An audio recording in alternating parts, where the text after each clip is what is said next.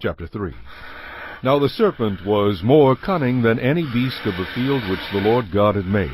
And he said to the woman, Has God indeed said, You shall not eat of every tree in the garden? And the woman said to the serpent, We may eat the fruit of the trees of the garden, but of the fruit of the tree which is in the midst of the garden, God has said, You shall not eat it, nor shall you touch it, lest you die. Then the serpent said to the woman, You will surely not die. For God knows that in the day you eat of it your eyes will be opened, and you will be like God, knowing good and evil.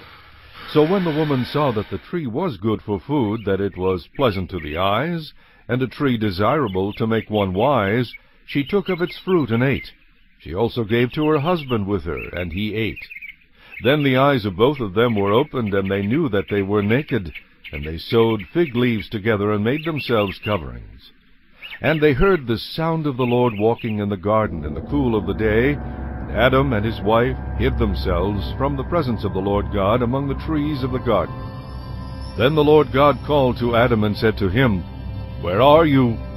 So he said, I heard your voice in the garden, and I was afraid because I was naked, and I hid myself. And he said, Who told you that you were naked?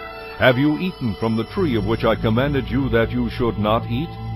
Then the man said, The woman whom you gave to be with me, she gave me of the tree, and I ate. And the Lord God said to the woman, What is this you have done? The woman said, The serpent deceived me, and I ate. So the Lord God said to the serpent, Because you have done this, you are cursed more than all cattle, and more than every beast of the field.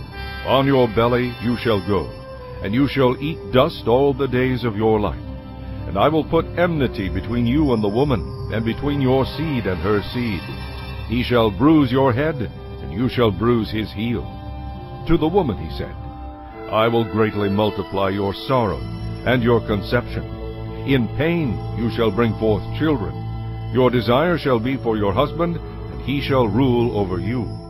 Then to Adam he said, Because you have heeded the voice of your wife, and have eaten from the tree of which I commanded you, saying, You shall not eat of it. Cursed is the ground for your sake. In toil you shall eat of it all the days of your life.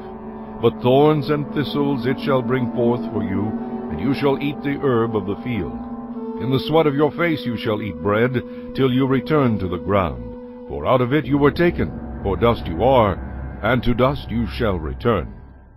And Adam called his wife's name Eve, because she was the mother of all living. Also for Adam and his wife the Lord God made tunics of skin, and clothed them. Then the Lord God said, Behold, the man has become like one of us, to know good and evil. And now, lest he put out his hand, and take also of the tree of life, and eat and live forever. Therefore the Lord God sent him out of the Garden of Eden, to till the ground from which he was taken. So he drove out the man, and he placed cherubim at the east of the Garden of Eden, and a flaming sword which turned every way to guard the way to the tree of life.